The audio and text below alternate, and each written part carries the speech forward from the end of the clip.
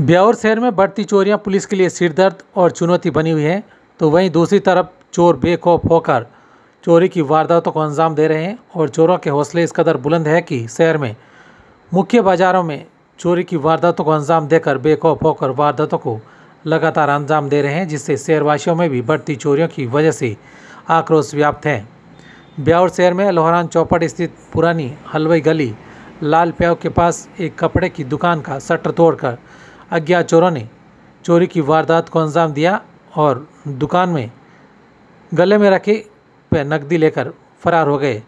वहीं दुकानदार का कहना है कि मुख्य बाज़ार लोहरान चौपड़ में पुलिस की रात्रि में ग्रस्त होने के बावजूद चोरों के हौसले इस कदर बुलंद है कि चोरी की वारदात को अंजाम दे रहे हैं।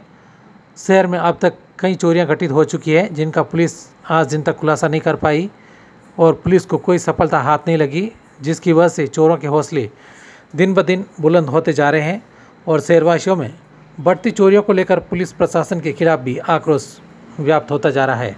ब्यावर से प्रकाश भाट की रिपोर्ट। मामला में आया रात सुबह छः बजे मालूम पड़ा।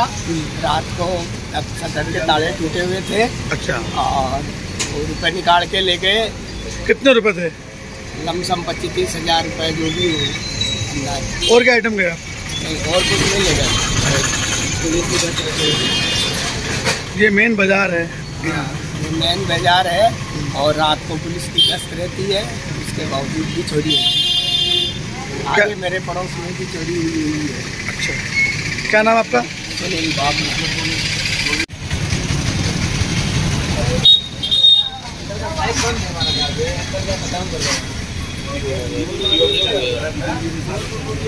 हाँ।, हाँ।